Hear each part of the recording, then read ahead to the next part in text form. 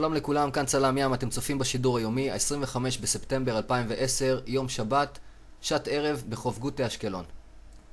תחרות הגלישה באשקלון נמצאת עדיין בתקופת המתנה, הים מסרב לעלות, גובה הגלים מתחת ל-30 סנטימטרים, רוח צפון מערבית 14 קשרים, לא מאפשרים תנאי גלישה. מחר יום ראשון וגם לקראת שני עלייה ניכרת בטמפרטורות, יעשה חם ויבש מהרגיל. הרוחות ימשיכו להיות חזקות, צפוניות, צפון מערביות, 14 עד 17 קשרים.